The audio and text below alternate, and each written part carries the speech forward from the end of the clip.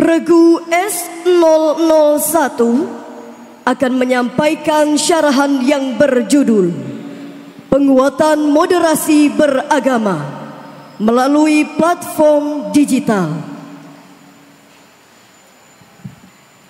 Tes, tes, tes, tes, tes. Bismillah, tes, tes. Bismillah, tes, tes.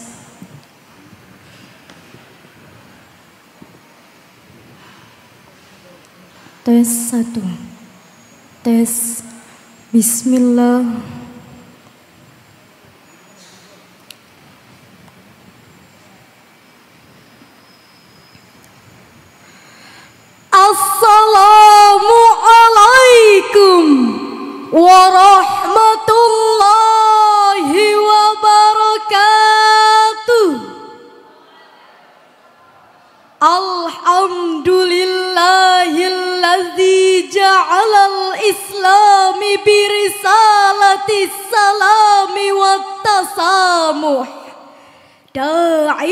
إلى العدل والإحسان. اللهم صل على محمد وعلى آله وصحبه أجمعين. أما بعد. Dewan Hakim yang arif dan bijaksana Hadirin sebangsa dan setanah air yang kami banggakan. Di era digital 5.0, agama tak lagi terbatas pada ruang fisik di masjid atau tempat ibadah saja. Namun hadirin, ia kini hadir di dunia maya bertransformasi menjadi konten yang kita konsumsi melalui ponsel pintar kita lengkap dengan segala kemudahannya. Oh, betapa modernnya. Konon hadirin, platform digital bisa menjadi lahan subur dalam menumbuhkan moderasi beragama. Tempat kita bisa berdialog dengan bijak. Tempat kita bisa berbagi pemahaman dengan terbuka. Tempat kita bisa memperkuat toleransi dengan jujur. Serta mencegah radikalisme dan ekstremisme.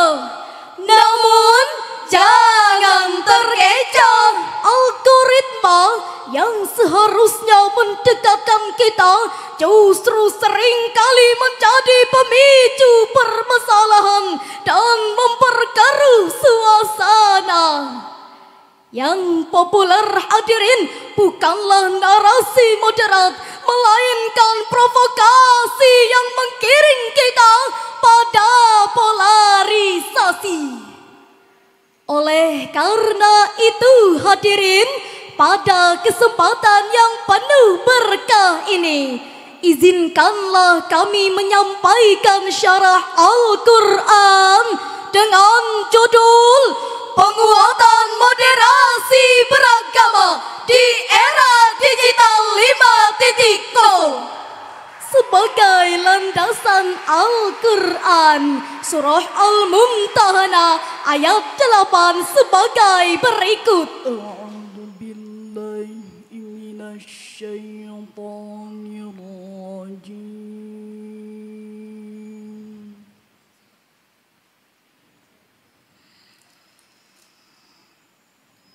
Bismillahirrahmanirrahim الرحمن الرحيم.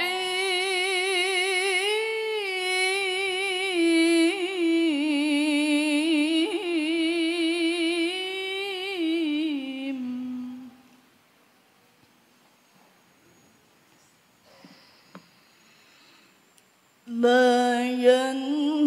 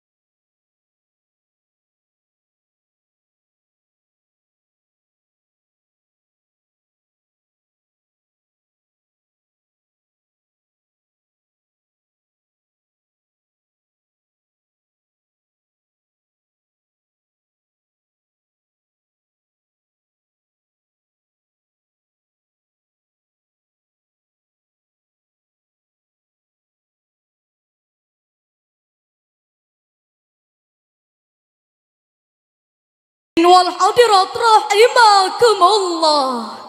Menurut Imam Al-Qurtubi dalam tafsirnya Al-Jami Al-Ahkamil Quran jilid 18 halaman 360 sampai 363. Beliau menjelaskan bahwa konteks surah Al-Mumtahanah ayat 8 tersebut berkaitan dengan kisah Asma putri Abu Bakar As-Siddiq yang pada saat itu hadirin mendatangi Rasulullah dengan memberikan pertanyaan yang begitu menggetarkan zaman.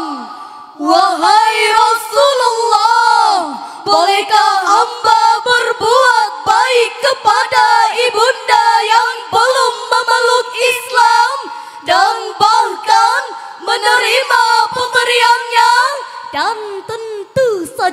hadirin dengan segala kebijaksanaan Rasulullah beliau menjawab boleh wahai Asma binti Abu Bakar.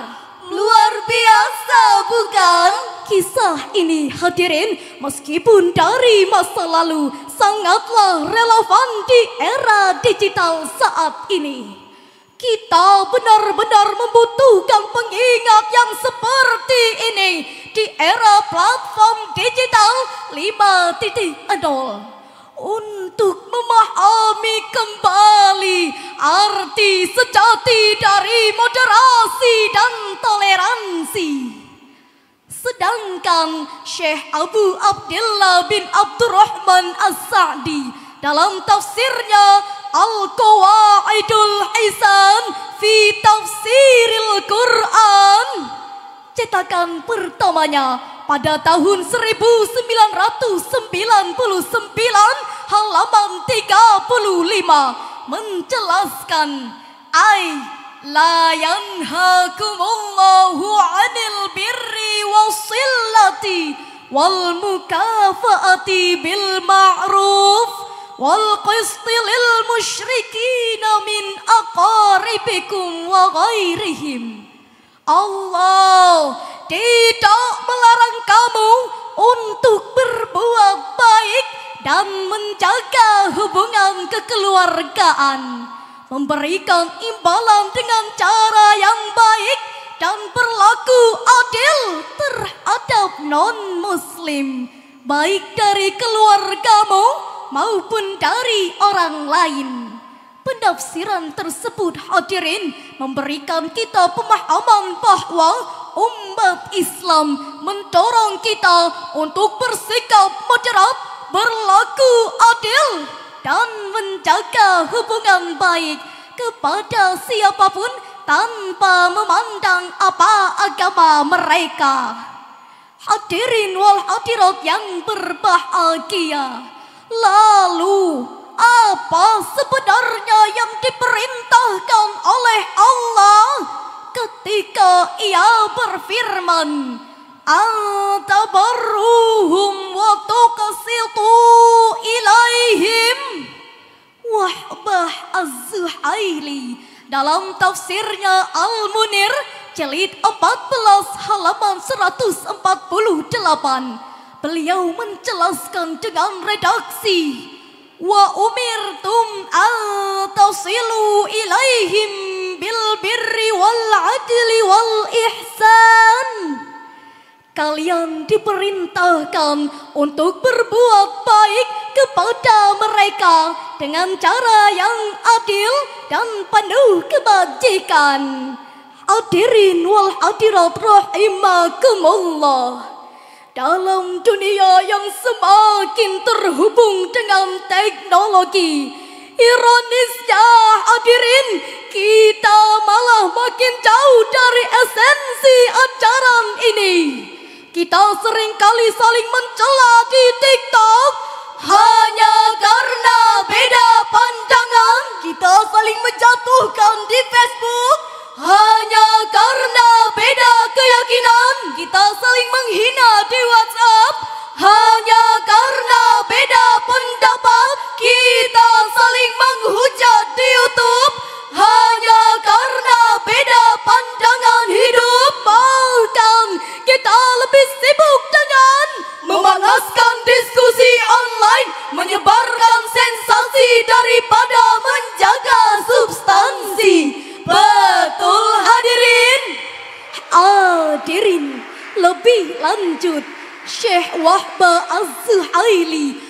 menjelaskan kalimat Inna Allah yuhibbul muqasitin Ay Inna Allah yuhibbul lazina yuhaqqiquna al-adla.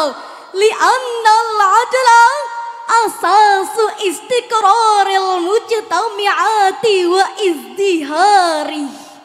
Sesungguhnya Allah mencintai orang-orang yang menegakkan keadilan karena hadirin keadilan adalah standar stabilitas dan kemakmuran masyarakat. Hal ini diperkuat dengan hadis Nabi yang menekankan bahwa keadilan adalah pilar utama untuk mendapatkan posisi kemuliaan di sisi Allah.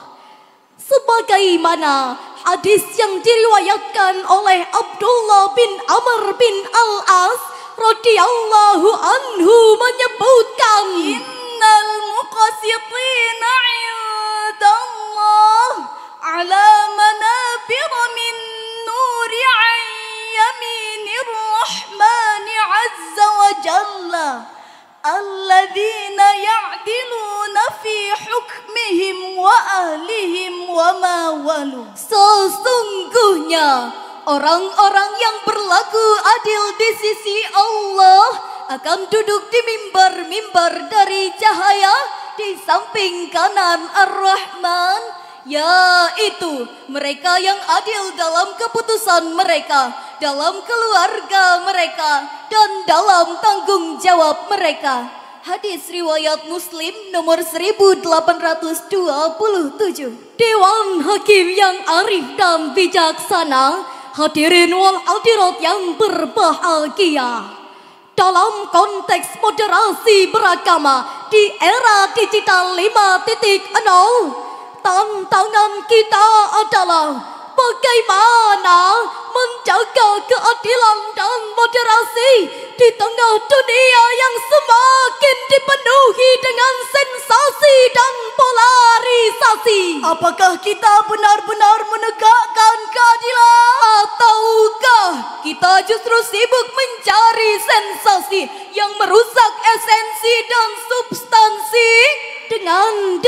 demikian hadirin, penguatan moderasi beragama di era digital 5.0 haruslah berfokus pada keadilan yang adil, transparansi, dan kebajikan. Keadilan bukanlah inti dari mendapatkan kemusliaan dari sisi Allah, tetapi juga menciptakan lingkungan digital yang sehat dan harmonis. Hadirin, jika penguatan nilai-nilai moderasi ini kita terapkan dalam kehidupan berbangsa dan bernegara, dalam interaksi sosial sehari-hari, baik dunia maya maupun nyata, baik secara online maupun offline, maka akan tercipta lingkungan digital yang harmonis. Bukan lingkungan yang sinis, Akan hadir masyarakat yang toleran. bukan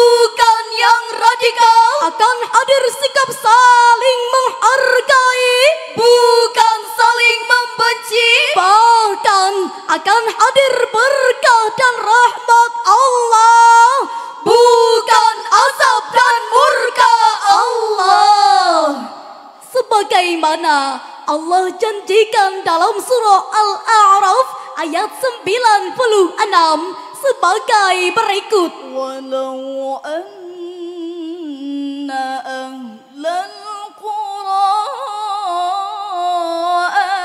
آمنوا واتقوا لفتحنا عليهم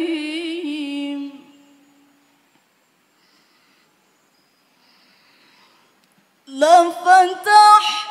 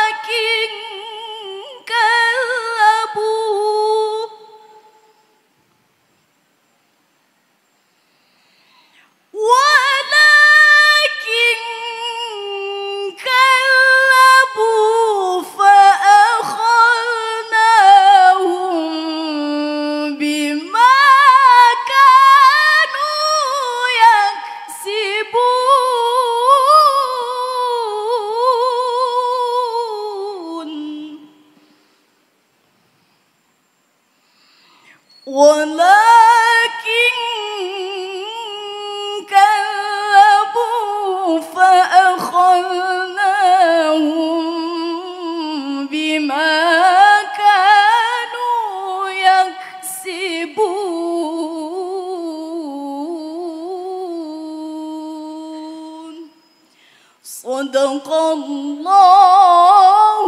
العظيم Jikalau sekiranya penduduk negeri-negeri beriman dan bertakwa, pastilah kami akan membukakan kepada mereka berkah dari langit dan bumi. Tetapi mereka mendustakan ayat-ayat kami itu. Maka kami siksa mereka disebabkan perbuatannya. Maha benar Allah dengan segala Dewan Hakim yang arif dan bijaksana, hadirin wal hadirat yang dimuliakan oleh Allah. Menurut tafsir ringkas Kementerian Agama Republik Indonesia, ayat ini hadirin mengajarkan kita bahwa sekiranya penduduk negeri-negeri beriman dan bertakwa, pastilah akan kami limpahkan keberkahan dari segala penjuru langit dan bumi. Tapi sayangnya hadirin masih banyak dari kita yang mengejar sensasi daripada mencari berkah ilahi. Pada surah Al-A'raf ayat 96 ini sudah memberikan spoiler endingnya bahwa Allah telah menjanjikan kita bahwa ketaatan dan ketakwaan akan mendatangkan berkah dari langit dan bumi. Tapi bagi mereka yang memilih jalur dusta dan tipu daya, ya jangan kaget kalau hasilnya adalah azab dan murka, bukan berkah dan rahmat, Betul? Hakim yang arif dan bijaksana, hadirin wal hadirat rahimakumullah. Dari syarahan yang telah kami sampaikan, dapat kami ambil kesimpulan yaitu moderasi beragama adalah standar stabilitas sosial dan digital.